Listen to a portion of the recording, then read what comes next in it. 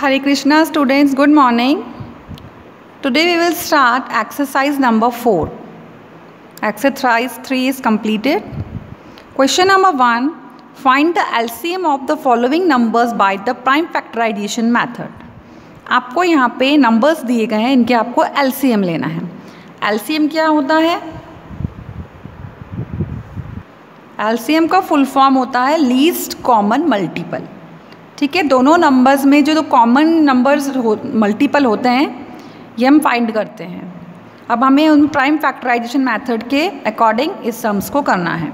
ए 24 and 36 दोनों के आपको एलसीएम लेने हैं प्राइम फैक्टराइजेशन मेथड से। प्राइम फैक्टराइजेशन में अलग अलग दोनों के नंबर्स को आपको एलसीएम लेने हैं। पहले हमने 24 का लिए लेंगे और इधर 36 का लेंगे। ठीक है? डिवाइड जैसे आप करते थे, उसी तरीके से आपको डिवाइड करना है. Twenty four even a number even number so multiply by two so we take two number two से हम इसको डिवाइड करेंगे. Two one are two two two are four okay twelve two six are twelve six two three are six three बचा, अब three को लेंगे हम. Three one are Next 36. 36 also even number. So we take 2. 2 1s are 2. 2 8s are 16. 2 9s are 18.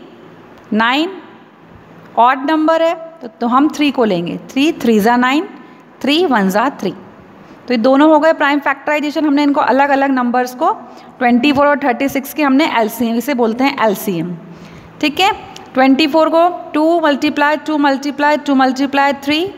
Thirty six के क्या निकले? Two multiply two multiply, three multiply three. अब यहाँ एलसीएम जब हमने लिया तो आप देखेंगे इसका पेयर बन रहा है, इसका बन रहा है और एक थ्री का पेयर बन रहा है। तो इनको तो हम लिखेंगे वन वन टाइम जिनके पेयर्स बनते हैं। Two two and three two two and three अब जो सिंगल बचा हमारे पास टू और थ्री उसको सिर्फ़ हम वन टाइम लिखेंगे. टू और थ्री ठीक है? जब हम इनको मल्टीप्लाई करेंगे तो इनका आंसर क्या आएगा? सेवेंटी टू तो ये एलसीएम हो गया हमारा seventy two B twenty seven and forty five twenty seven and forty five twenty seven is odd number so we take three three nine are twenty seven three three are nine and 3 ones are 3. 45, 3 ones are 3, 3 fives are 15. 3 fives are 15, 5 ones are 5. 27 के क्या है? 3 multiply 3 multiply 3 45 3 multiply three multiply five अब यहाँ देखेंगे pair किसका बन रहा है? थ्री का थ्री का. तो हमने थ्री को यहाँ वन वन टाइम लिखा है. जिसके पेयर बनेंगे वो वन वन टाइम में लिखना है। ऐसा नहीं आप दो दो बार लिख रहे हैं। इनको हम एक एक बार लिखेंगे और जो सिंगल बचता है नंबर थ्री और फाइव, उसको वन टाइम लिख दिया, ठीक है? जब आपने इनको मल्टीप्लाई किया तो आंसर आया 135 तो ये हो गया L C M equal to one hundred thirty five C forty two and sixty three forty two और सिक्सटी थ्री का हमने एल सी एम लेंगे.